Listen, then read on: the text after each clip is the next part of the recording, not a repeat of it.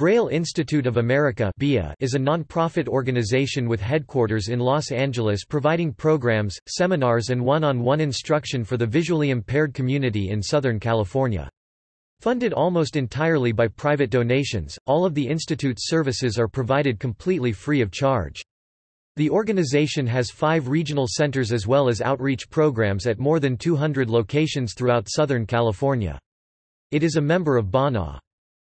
Braille Institute serves children, youth and adults, with the goal of helping its clients adapt to life with low vision and achieving fulfilling, independent lives. The organization offers instruction in adaptive cooking, home skills, mobility training and staying connected through technology. BIA's publishing arm produces the Braille Special Collection, several series of free children's books in Braille, designed to foster an early love of reading and promote Braille literacy. History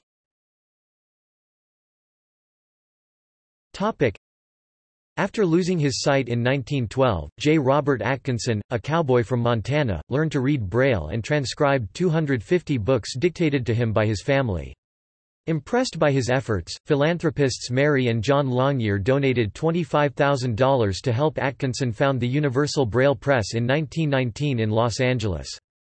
By 1924, Atkinson finished printing the 21 volumes of the Braille King James Version of the Bible. The Braille Mirror, a Braille magazine, was first published in 1926 by the Universal Braille Press. Atkinson lobbied lawmakers and influenced the passage of the Pratt-Smoot Act in 1931. The legislation provided $100,000 for the printing and distribution of raised print media through the Library of Congress Services for the Blind. The Universal Braille Press incorporated as the Braille Institute of America. In 1934, Braille Institute joined the National Library System. BIA printed the first Braille Webster's Dictionary in 1938. In 1971, Braille Institute opened its first regional center in Anaheim, California. In 2000, the first Braille Challenge was held, an annual competition for visually impaired youth that celebrates Braille literacy. Topic: Library services.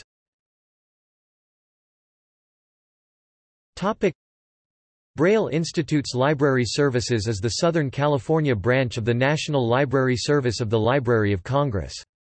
The library freely provides over 1.2 million Braille texts, periodicals, and audio recordings for the public. In 2009, Library Services received the National Medal for Museum and Library Service from the Institute of Museum and Library Services. The Braille Challenge